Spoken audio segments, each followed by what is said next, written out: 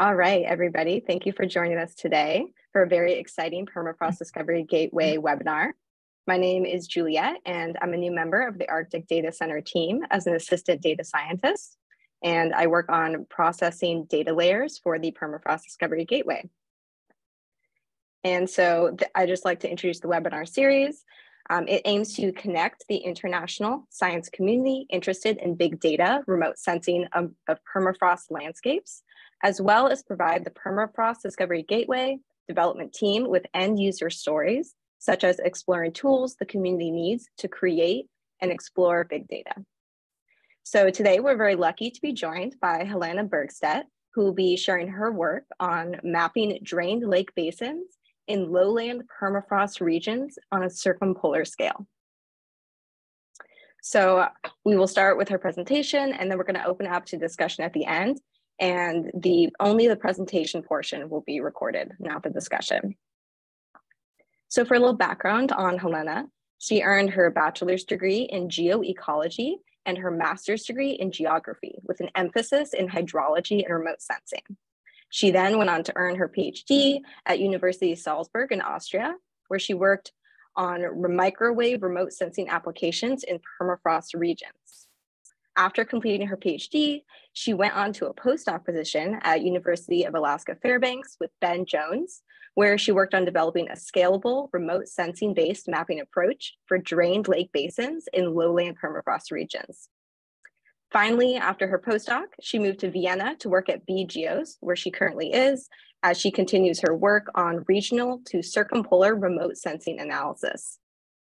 Uh, ben and Annett, would you like to add anything to Helena's introduction?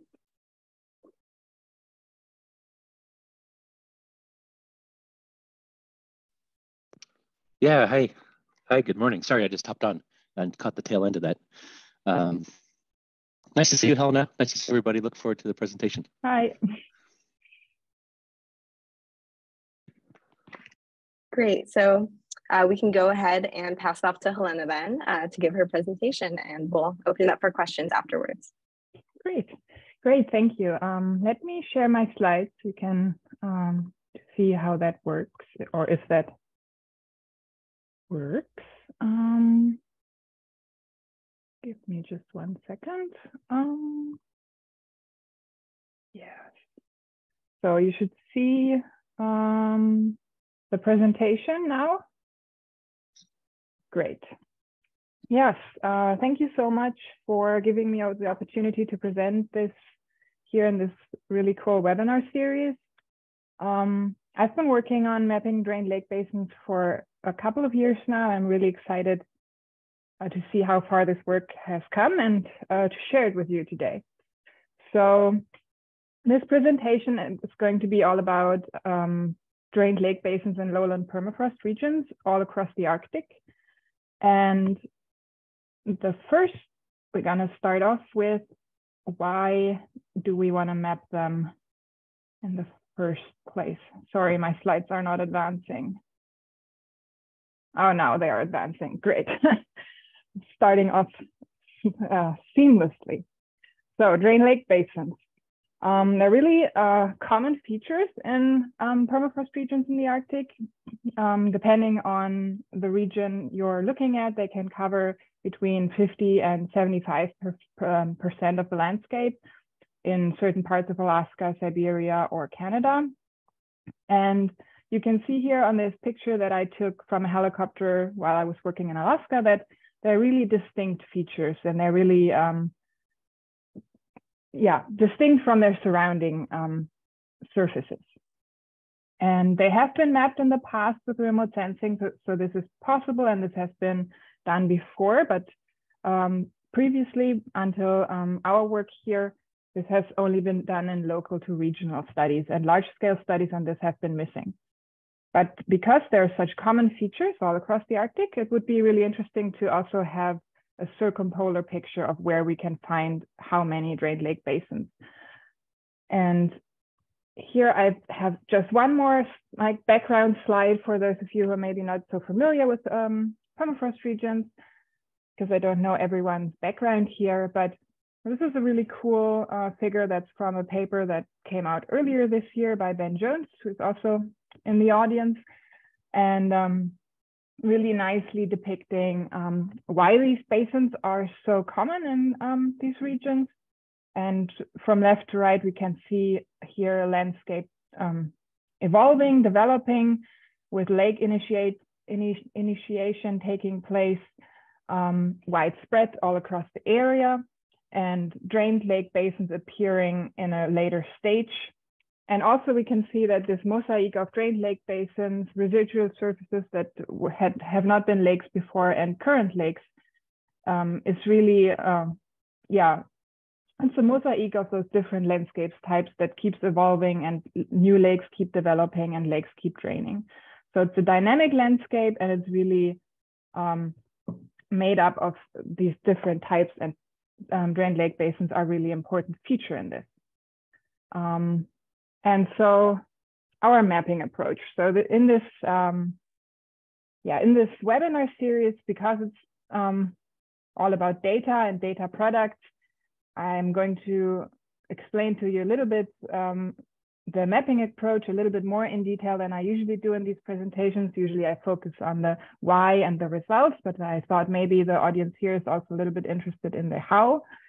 Um, and so our data, our aim was that we are going to be able to cover the circumpolar region. So we can only use data that will be available for the entire Arctic. And so as one of the inputs, the most important input um, we use Landsat 8 imagery. And for this, um, there's like one of the those mosaics that I created is here as an example for the North Slope, but I created these mosaics for the entire Arctic. And to be able to cover the entire Arctic, I um, used imagery that not only from one year, but from multiple years, in this case from 2014 until 2019, um, to be able to cover the entire Arctic um, cloud-free and uh, with high enough um, yeah, coverage for all regions. And from this Landsat um, imagery, I uh, derived the Tasseled Cap index. For those um, who are not familiar with this, this is an index you um, can derive from um, multispectral imagery that basically gives you information about brightness, greenness, and wetness per pixel. And so this is one of the main inputs of our analysis of our mapping approach for drained lake basins. And another very important um, input is um, a digital elevation model. And in an early version that I'll be presenting on the next couple of slides, an early version of this drained lake basin mapping, I've been focusing on the Arctic DEM. Um, so everything that's I'm going to present that's focused on Alaska in this presentation um, the Arctic DEM went into this, but since I've expanded it to the circumpolar region, I've been using the Copernicus DEM um, because I have found that over certain regions that has a little bit fewer artifacts and was a little bit easier to handle for those areas. Um, so based on this, um, based on the Landsat imagery and based on the Tasseled Cap index that I derived from the Landsat imagery, um, I calculated the local Moran's-I, which is a measure of spatial association. So you can imagine it a little bit like a clustering technique or something like this, where we get information for each pixel, whether or not this um, is uh, belong, belongs to a local cluster, a, a, local grouping of pixels, or whether or not it um, is an outlier or part of a more or less randomly distributed values. And so one of the main assumptions of this mapping approach is that drained lake basins um, form uh, are sort of unique feature, features that um, are different from their surrounding landscapes. And while not all drained lake basins are similar to each other, they're different, they're all different from their surroundings. So that's what's unique about them and what we rely on, on in our mapping. And then to refine this a little bit, because if you just do this step, there's still a lot of noise in the data. And it's also important for us to mask out mountainous areas because we're interested in lowland permafrost regions, but it's also uh, important to mask out um, narrow river channels, um, local ridges, those kind of features. And for that, we rely on the DEM that I mentioned before. So that's what we get from the topographic information. And all of this um, we published a prototype of this um, which I think is already has been ingested into the, um, but we can discuss that later, I suppose. But I believe it's already, um, so it's, it's published on the Arctic Data Center since 2021. And the paper that goes with it is also published, and I show the references in the end. But I believe it's also already ingested in the Permafrost Discovery Gateway, if I'm not wrong. Um, and this um, data set has uh, was calibrated using a bunch of manually classified random points um, and validated against also a different set of um, manually classified classified points, but also previously published data sets. Um, yeah, and so you, you see this example of the data set that of the prototype um, that's covering the Alaska North Slope. And it, you can see it here in the bottom right part of the slide. And you see the, the no drained lake basin area um, in orange, the drained lake basin areas in um, this blue bluish color. And then you see a third class, class that um, I called ambiguous. And this is basically, we introduced this class to give the users or the possible users of our data some freedom on how they would like to approach this data set. So of course, like in any mapping algorithm, there are some areas where we thought our um, mapping approach might not work as well, or where there's a little bit less confidence just in, in the results. And to give the users some freedom on how to approach those situations, we introduced this ambiguous class. So if you, for example, would like to use this as an input in your model, but you want to be really conservative about what areas might be drained lake basins, you may only focus on the blue areas. But if you are saying, oh, for me, it's more important that no drained lake basins are left out, or you would like to compare those two situations, you could include both uh, the ambiguous and the drained lake basin class in as from the data. So that's why we that's why this uh, third class exists, basically to to give some flexibility to the user. Um, yes, about the comparison with local to regional scale data, um, we compared it to a number of different previously published data sets that come from um, manual mapping, local knowledge, all kind of different approaches. Um, also those uh, citations I will have at the end, and they're also available on the Arctic Data Center. And um, yeah, here I just have two comparisons, both from the Alaska area, both um, all these figures are also part in the already published manuscripts. Later, I will show you some unpublished things, but this is still all the things that have already been published and are available online. Um, so here you can see, uh, yeah, the, the same color scheme as we saw in the figure before.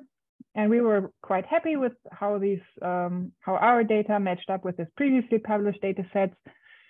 Um, you can see the black lines um, tracing drained lake basins that were um, included in, in this previously published data sets. And at least in our opinion, those matched up quite well with um, what our uh, what our results were. And um, so now moving on to the circumpolar scale. Um, the prototype only covered the North Slope, but we were interested in um, the, the, the Pan-Arctic picture. And there, for the last couple of years, there has been an action group um, under the umbrella of the IPA, the International Permafrost Association, on these drain on uh, mapping these drain lake basins for the Pan-Arctic area. And um, this is a community effort led by me and Ben, Ben Jones. Um, and there's like three main pillars of this, or two and a half main pillars, so maybe of this of this action group. Uh, one of them is this creation of this um, of this remote sensing based um, lake uh, basin map, um, and one is also the collection and creation of an age database for Drained Lake Basin ages, uh, basically a collection of field data. So this is also part, and then part of this was also the publication of this Jones et al. 2022 um, Nature review paper on drained lake basins that where I showed the one of the figures before. But my part is mainly the the map, the Panarctic data product, and um, you can see here in dark gray all the areas that we're focusing on for this data product. Um, and we constrained the study area quite generously, but we did constrain the study area by um, using a data set published by Olefeldt et al. in 2016, um, which is basically a data set about all kinds of different um, thermokarst landscapes. And we focus specifically on lake thermokarst landscapes. And so wherever, um, according to this data set, lake thermokarst um, can occur, we um, then uh, run our mapping algorithm to see, um, to, to map those drained lake basins. Um, yes, and so what's the status of this? Um, as I already mentioned before, the input data, the Landsat 8 imagery is the same time period and the same approach as was for the uh, data set that only covered the Alaska North Slope. And um, so the status is, you can see here in these nice colors. So basically I've been, uh, in the beginning, I was focusing on certain areas across the Arctic, uh, including areas in Siberia, like the Yamal Peninsula, um, like some areas in Canada, like the Inuvik region, um, Old Crow Flats, some um, area on uh, south of the Hudson Bay. And those are mainly areas that were of interest to uh, collaboration partners, to project partners, and also areas where I had some uh, availability of local knowledge of previously published data sets. And um, but basically I've run my analysis for all these areas. The orange areas are still, um, the calibration is currently ongoing, but um, first uncalibrated, uh, uncalibrated results already, um, already exist. And for the blue areas, which includes the North Slope of Alaska, um, those calibrated uh, data is already shown. However, validation is still still needs to happen. And um, yes, so now to some examples of this area. So this is an example for the um, for for the North Slope. You already saw some zoomed in versions of that before when we looked at the comparison with the previous previously published data. Um, but this is even a little bit uh, more of a close up, I guess. And you can see the comparison here with uh, the Landsat mosaic um, on, on the left side and uh, the, the data set classification on, on the right. And um, yeah, again, we were quite happy on how well our approach was able to capture those drained lake basins. Um, for those of you who are maybe not as familiar as I have become at looking at those um, satellite images and immediately picking out the drained lake basins. I don't know if I have a laser pointer device on Zoom, but um, I think so. Laser pointer. I don't know if you can see my, I, I see you are nodding, excellent. So you can see here on the imagery already, there's some quite distinct features, which are these drained lake basins. They come in different shapes and sizes. They're overlapping here. They are not always um, one separate basin, but as we saw in the overview figure right in the beginning, new basins can form in the old basin. So those are overlapping features, um, difficult to distinguish where exactly the borders are between the features. But our mapping approach was quite successful in capturing the different types of basins, different sizes. So we were quite happy with this. And um, for results in Siberia. So this is an example from the Yamal Peninsula. Um, this is quite a different scale than before. So this is, uh, you can see here is the one kilometer scale bar. So quite the, big basin. Um, and this was one of the first areas where I was testing out uh, our approach um, outside of Alaska. And so I was quite happy that also in a different setting with quite the different um, yeah it's just you, you never know if you um, develop this one approach specifically for the north slope how well will it perform in other regions um, so we were also quite happy with this um, first attempt on expanding into the panarctic um, scale and so this is i think quite a good example of um, of how it performs there, but you can also see the importance of the ambiguous class. There's some areas at the edges and in the um, bottom part of the of this example where there's some areas with the ambiguous class where um, you could imagine that some users might um, would like to keep these areas included in the data set, but others might like to focus only on the on the areas where we can say for sure that those are drained lake basins. And as another example, uh, also from Siberia, from the Chersky area, um, this has again quite a different scale. So you, you have a 10 kilometer scale bar up here um, and also here, I think the, the mapping approach worked quite nicely. Again, you can see here the comparison to the, um, to the high resolution imagery. Um, you can see all kinds of types of drained lake basins, um, and you can see how they compare here in the, in the classification. And yeah, again, we were quite, quite pleased with how this turned out. Um, again, a quite different um, setting compared to the Yamal Peninsula, compared to the North Slope in Alaska, but still it work is working quite well. And one of the reasons why I also chose this example um, specifically to look at is because it highlights the importance of why we don't only use um, the Landsat imagery, but also use the digital elevation model. Um, you can see here some areas in the classification that are very clearly not drained lake basins in this area that's full of drained lake basins. This is another reason why I chose this area. This is just full of drained lake basins and they're all, almost all of them are very nicely captured. But there's also some areas that are clearly not drained lake basins and they come out very well in the classification. And the reason is because we have included the digital elevation models because these areas are um, ridges or elevated from the from the lower lying um, basins. And with just the Landsat imagery, we don't always um, distinguish well between those areas and the, the basins that are so prominent in these regions. Um, yeah, and with that, I actually already come to my outlook. I believe I was a little bit too fast, but um, that just leaves us more room for questions. Um, so what's the what's what will the future bring for this? Um, first, I would like to invite everyone who is going to AGU to stop by our Drain Lake Basin session that will happen on Friday. Um, so if you're staying until Friday at AGU, please stop by.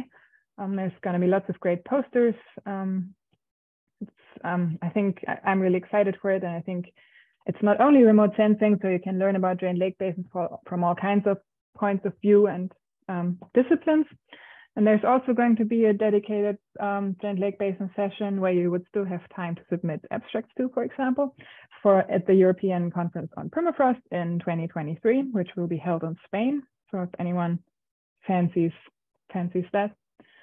Um, this is also open to all kinds of disciplines, not only remote sensing based, but also if you're a modeler, for example, also very welcome. And then, of course, we want to publish this. As I said, the prototype has already been published. The dataset is published as well as the, the accompanying paper. But we also want to, of course, publish the circumpolar product and also a paper to go with it. So that's in the works. And then also, of course, this we believe this has some great potential for future applications. So we don't just want to publish the dataset and say goodbye, but we also want to use it for things um, like upscaling field data, for example. As we all know, the Arctic is quite hard to reach in certain areas. Some areas are hard to do field work in and hard to collect data. So remote sensing data is great for that. And hopefully we will um, have some nice um, upscaling um, successes using this data set. Um, and that, of course, there's also uh, then work ongoing to connect it to other parts of the action group, like the the H base, the H um, database that I mentioned in the beginning, where action group members are hard working hard to collect all kinds of field data. And so that's also something to look forward to. And with that, um, there's the references I promised you, but um, I'm also happy to send you the links to the data sets um, if you would like Um, then I would like, of course, to thank all the people who funded me over the years. I was part of an NSF project with when I was working with Ben. Currently, I'm part of the QArctic project um, at b.geos, which is an ERC project. And also I would like to thank the IPA for funding our action group um, for the last couple of years. It was really, really cool. Um, yeah, thank you all for your attention and for showing up to this uh, webinar that's for some of you quite late and for some of you quite early. So I really appreciate it.